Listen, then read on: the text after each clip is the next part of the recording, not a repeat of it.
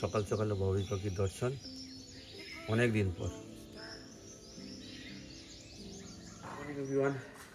আজকে রবিবার একদম গাড়ির গ্যারেজ থেকে শুরু করছি। আমার মার এখনও পছন্দ হয়নি গাড়ি মুছা সে আবার লেগে পড়েছে।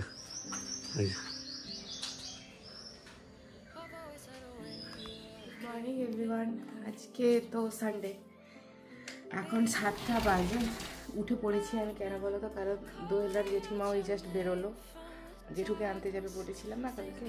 তো ওরা এই জাস্ট বেরোলো আর আমিও উঠে পড়েছি। আমি বললাম মার বেকার, এই দেখো মুরগিটা ডেকে আনছি যাই হোক, তো আমি ভাবলাম যে কি আমি আর বেকার শুয়ে থেকে কী করব? তো উঠে যখন পড়েছে সবাই তখন আমিও উঠে পড়ি।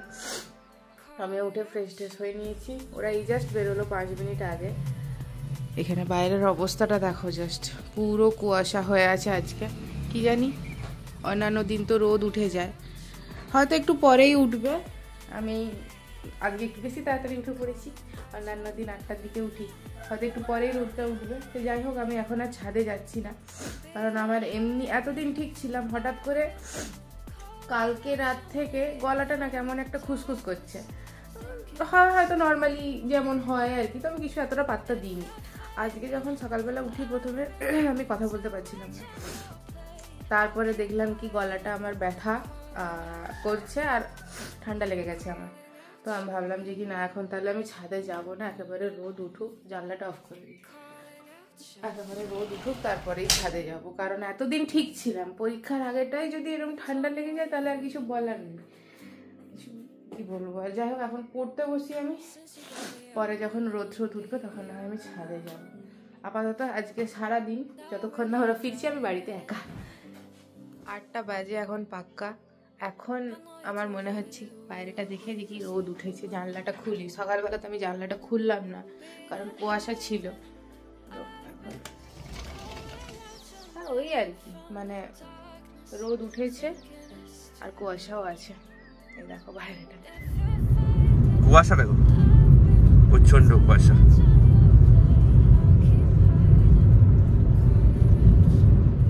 কুয়াশাও আছে। আর রোদও উঠেছে। থাক, আমি একটু পরেই ছাদে যাব। এখন যাচ্ছি না ছাদে। একটু পরেই যাব। যখন পাম্পটা চালাবো তখন যাব ছাদে। গাছগুলোতে কালকে তো বিকেলে জল দেবো। মানে বিকেলে তো আমার ছাদে যাওয়াই হয়নি কালকে সকালেও দোয়েল যেটুখানি দিয়েছিল দিয়েছিল। আজকে সকালে আবার একটুখানি গিয়ে দেবো দেখি জল। আসলে না, আমার ছাদে এখন যেতে ভয় লাগছে। আমার ঠান্ডা লেগে গেছে। আমার হাঁচি হয়ে গেল। দশটা মতো হাঁচি আমার হয়ে গেল, কাশিও হয়ে গেল। আমি এখন ছাদে যাব না। রিস্ক থাক। আর একটু ভালোভাবে রোদ উঠুক তারপরেই যাব। কি অবস্থা। আকাশের সূর্যকে চাঁদ মনে হচ্ছে। In 300 meters, keep left. হ্যাঁ লেফটে যাব কিন্তু দেখতে তো পাচ্ছি না থ্রি হান্ড্রেড মিটার আগে। সাড়ে নটা বাজে। আজকে তাড়াতাড়ি উঠেছি না। তো এতক্ষণ টাইম পেরিয়ে গেল আমি খালি একবার ঘড়ির দিকে তাকিয়ে হয়েছে অনেকক্ষণ হয়ে গেছে মনে হয় বারোটা বেজে গেছে। ও বাবা ঘড়ির দিকে তাকিয়ে দেখি কি সাড়ে নটা বাজে। তো ভাবছি এখন নিচে গিয়ে না জলটা চালিয়ে দিই। কাকিমা জল নেবে। নিচে গিয়ে জলটা চালিয়ে জিজ্ঞেস করি আগে, নেবে কিনা তারপরে জলটা চালিয়ে দেবো। কাকিমা বলল যে কি আজকে জল নেবে না? আছে। তো আর চালাতে হবে না। আমি একবার ছাদে যাই। আজকেও মেঘলা করে আছে। লাইটটা একটু বন্ধ করি এই ছাদে যাই।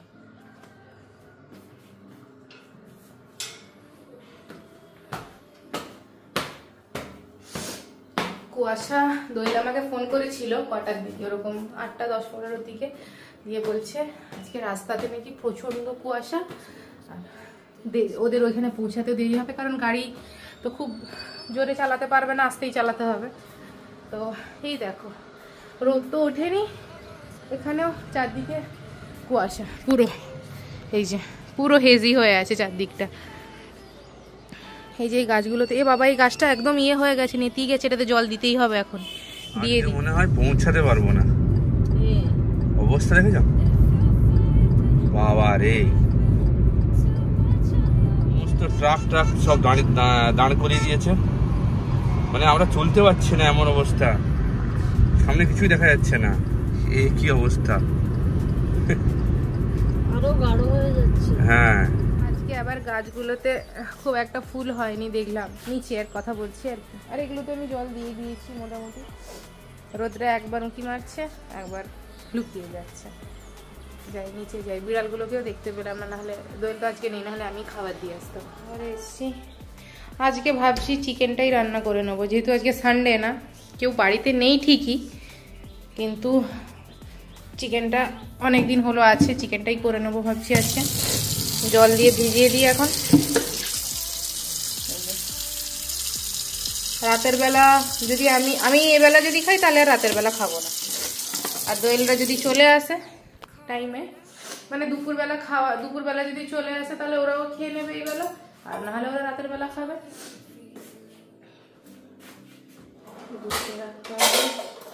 আমার এত বাজেভাবে ঠান্ডা লেগে গেছে না মানে কিছু বলার নেই আর। স্নানটা করব, একটু পরেই করব স্নান। দেরি আছে। দশটা বাজেনি এখন। আজকে নাকি আমার একটা অদ্ভুত টাইপের লাগছে। অন্যান্য দিন কি হয় বলো তো? আমার নিজেরই ঘুম থেকে উঠতে এত দেরি হয়ে যায় যে বেলাটা কোন দিক দিয়ে কেটে যায় আমি বুঝতে পারি না। আজকে তো আমি তাড়াতাড়ি উঠেছি। তো সময় এত, এতটা টাইম হয়ে গেছে, সময় চলে গেছে, আমার খালি মনে হচ্ছে বেলা হয়ে গেছে, বেলা হয়ে গেছে। কিন্তু এখনও দশটাই বাজে। খিদে পাচ্ছিল সেই কারণে আমি একটু বলবিটা আর পাউরুটিতে বাটার লাগিয়ে নিয়েছি একটু খাই। বাপরে। ঠান্ডাটা লেগে গিয়ে না যত ঝামেলা হয়েছে মানে কোনো কিছু করতে ইচ্ছে করছে না, কিচ্ছু মানে এক জায়গায় বসে থাকতে পারছি না, স্থির হয়ে খালি মনে হচ্ছে এদিকে যাই, ওদিকে একটু হেঁটে যাই, দেখি কি কর, কি হচ্ছে না হচ্ছে মানে একটা জায়গায় আমি স্থির হয়ে বসতেই পারছি না। এই যে, বনবিটা আর হচ্ছে সরি জুম হয়ে গেল হট করে, যাই হোক হ্যাঁ বনভিটা আর হচ্ছে পাউরুটি। এগারোটা বাজতেই যায়। আমি ভাবলাম না আর দেরি করে লাভ নেই রান্নাটা করে নিই আর আমার একটা নাক বন্ধ হয়ে আছে কি অসহ্য লাগছে বাপরে বাপ। দারুণ রাস্তা। চাষবাস হয়েছে। এই যে আমাদের হচ্ছে ধান এখানে জমিয়ে রাখা হয় পুরো এই এরিয়াটা।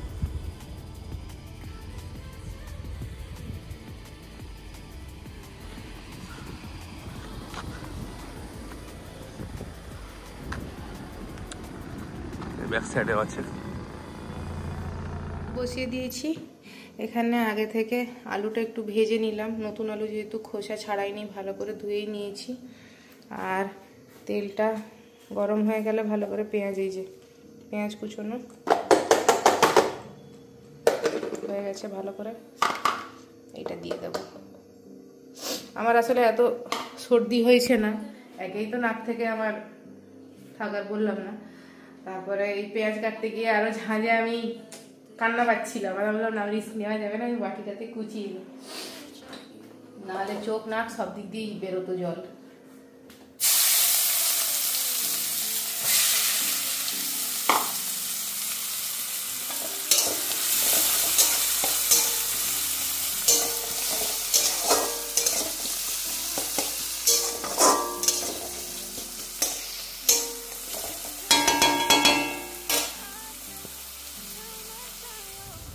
ওই যে এইগুলো। এখানে কি হয় মেনলি এই এখানে এই যে ধান যে চাষ হচ্ছে নিচে না হুম।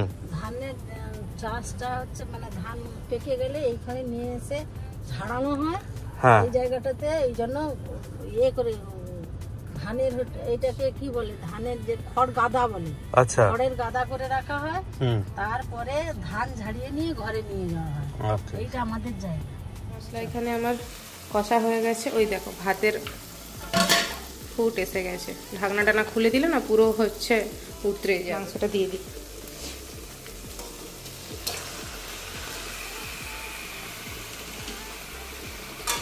আলুটাও দিয়ে দেবো একেবারে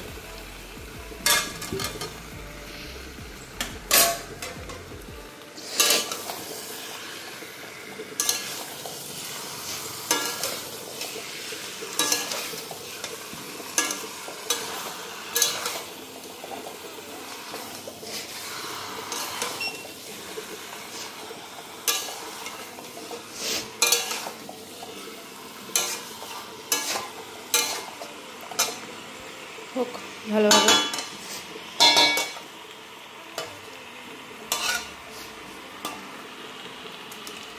একটু কালারের জন্যে এই যে লাল লঙ্কার গুঁড়ো এটা দিই আমি নেই এটা শেষও হয়ে গেছে।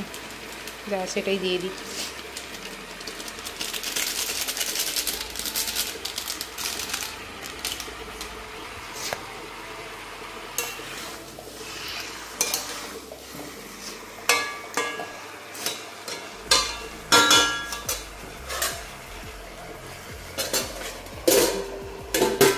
ঢাকা যাবে, খানিকক্ষণ কষা হোক। এই যে ভাত এখানে হচ্ছে। চলে এসেছি গন্তব্যস্থলে।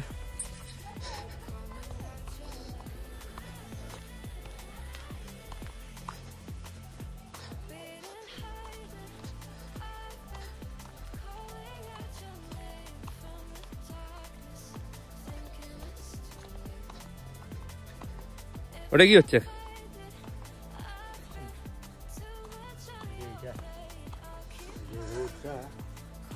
রোদটা লাগবে ওই জন্য রোদটাকে পিছুমণি কি খবর ভালো আছো চিনতে পারছ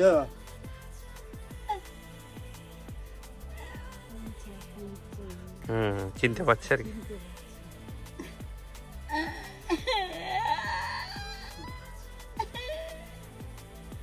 টেলিফোনটাই ধর ধর ধর এই যে হচ্ছে আমাদের দেশ বাড়ি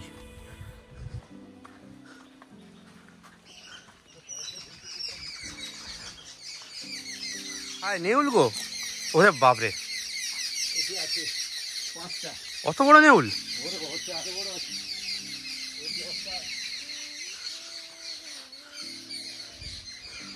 দেখো কত হচ্ছে ওলকপি। হ্যাঁ। ভাত দুটোই হচ্ছে। মাংসটা কষা হচ্ছে। জল দিইনি এখনও। একটু ভালোভাবে কষা হোক তারপরে জল দিয়ে তুলে দেবো। আর তরকারিটা যতক্ষণ না হচ্ছে না, আমি স্নান করতেও ঢুকতে পারছি না। সাড়ে এগারোটা বাজতে যায়। পুরো খারাপ হয়ে যাচ্ছে, হেঁচে হেঁচে। বাপরে। ভাতটা নামিয়ে দিয়েছি। দোয়েল আমাকে এখনই জাস্ট ফোন করল। দিয়ে আমি ভাবলাম কি ওরা ওখানেই হয়তো খেয়ে নেবে, গেছে। তো বলল যে কি না, দেরি হয়ে যাবে। ওরা ফিরছে আর কি। তো আমাকে আবার ভাত বসাতে হবে। এই এবার চিকেনটা থেকে দেখো, কত জল বেরিয়েছে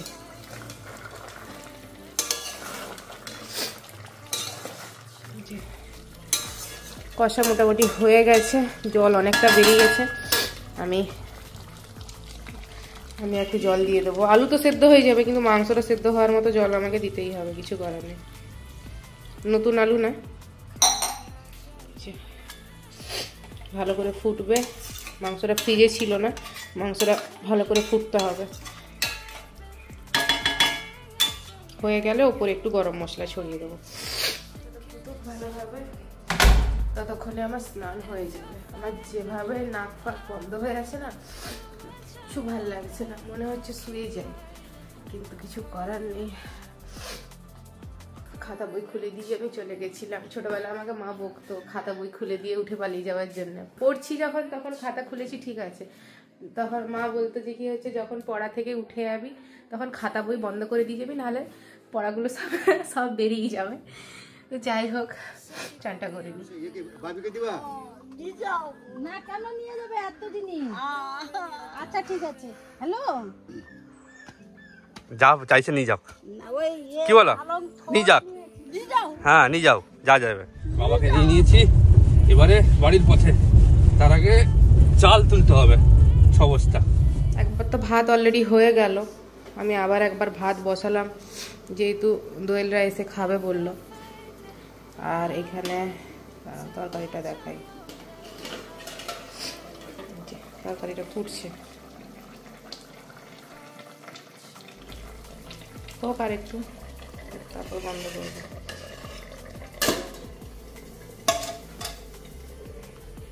আজকে সকাল থেকে তো আমার নিচে যাওয়া হয়নি, বিড়ালগুলোকেও দেখা হয়নি। এখন দেখছি আমার রোদ উঠেছে। দেখি একবার নিচে যাই বিড়ালগুলোকে তো খাওয়ারও দেওয়া হয়নি, যদি থাকে তাহলে দেবো, নাহলে আর দিয়ে কী করব? ও এখানেই দুটো বিড়াল শুয়ে আছে, এখানে একটা আর ওখানে একটা। দেখি তার দুজন আছে কিনা। আজকে তো দেখতে পাচ্ছি না। না। ভাবলাম দুধটা একেবারে নিয়েই চলে আসব, তারপর ভাবলাম যে কি না, যদি গিয়ে দেখি যে কি নেই দুজনেই তাহলে আবার আমাকে সেই দুধটা ঘুরিয়ে নিয়ে যেতে হবে। এত ঠান্ডা লেগে গেছে না, আমি হেঁচেই যাচ্ছি অনবরত। নেই। যা। কি করা যাবে? ওপরে চলে যাই।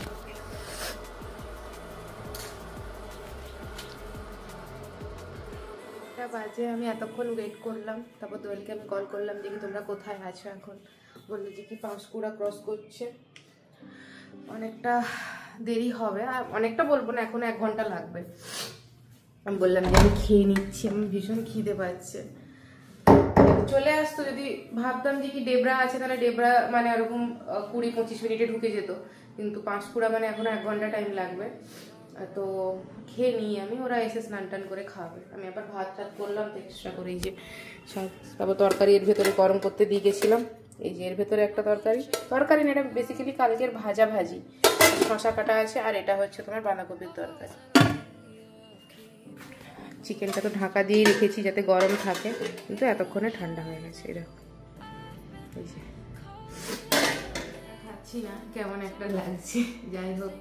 খাওয়ার পরে একটা মেডিসিন খেতে হবে। মাথাটা এত ভার হয়ে আছে না, গাটা জ্বর করছে। মানে জ্বর টেম্পারেচার গায়ে নেই, কিন্তু মনে হচ্ছে যে আজ জ্বর লাগছে।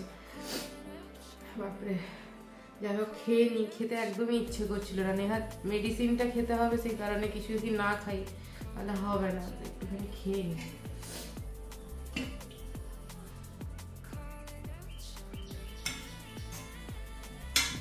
তরকারিটা দেখে মনে হচ্ছে ঠিকঠাক হয়েছে, এবার খেয়ে দেখি। তরকারিটা ঠিকই আছে, মুখে লাগছে। আমি না একটু ঝাল দিয়েছি, কেন বলো তো? ঠান্ডা লাগবে না, দেখবে টেস্ট ঠিকঠাক আসে না মানে কেমন একটা হয়ে থাকে।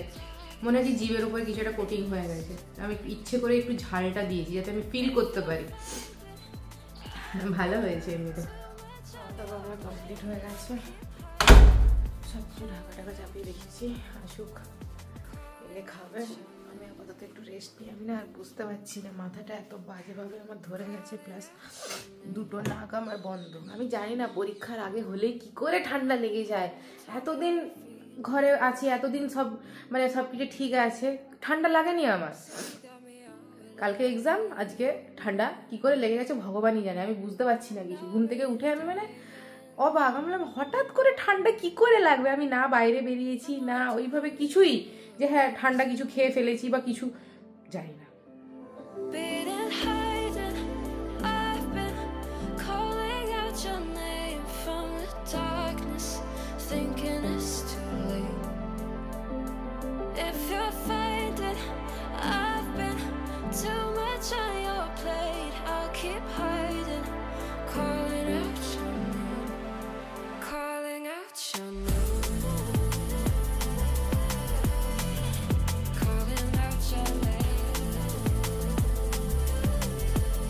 পুরো ভর্তি করে নিয়েছি স্কুটিতে।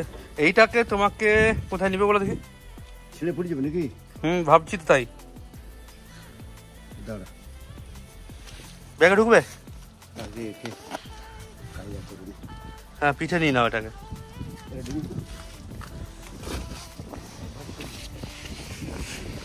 গোটা হাত পা সাদা হয়ে গেছে। আমাদের ডক্টর সাহেব বিশ্ব জয় করে চলে এসছে পা পা মুচকে। হাঁটতে পারছে না। কোন পা মুচকেছে? কি করে? ওই চাল। চাল বস্তা তুলতে গিয়ে? বেচার এখন তিনটে বাজে। বাজেনি এখনও পৌনে তিনটে বাজে ঢুকেছে ঘরে স্নান করবে। আর পাড়ার ছেলে ধরেছে দিয়ে গেল। এক কেজি পুরো এক কেজি আছে। এটা গিমার শাক গো, প্রচুর পরিমাণে। হ্যাঁ শেষ হয়ে যাবে আচ্ছা। তুই বাইরে বেড়েছো কেন? তোমাকে তো সেই ইতের মধ্যে রাখতে হবে। কি এগুলো এগুলো কি এনেছে এগুলো? এইগুলো সেখানে দেশ বাড়ি থেকে এনেছে।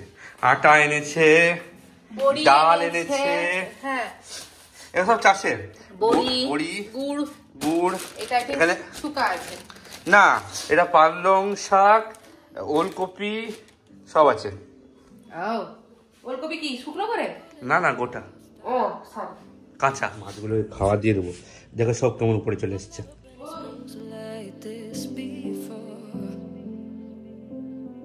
to shutting you out. I've always had a way of keeping close. Yeah.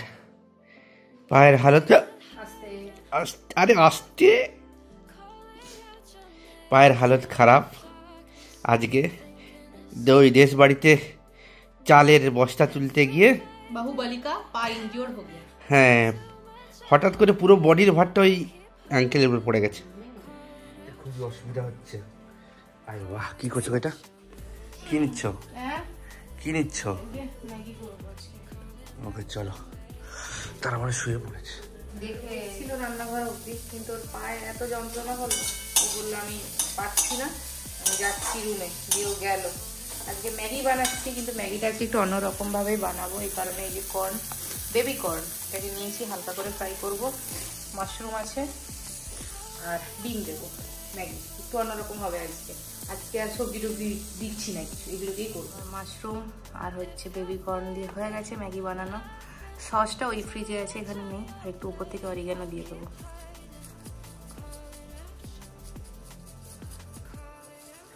এই ছোটটা দিয়ে দিচ্ছি কেন বলো তো? কারণ বড়টা খুললে না, হুস করে সব পড়ে যাবে। তার থেকে কম কম দেওয়াই ভালো।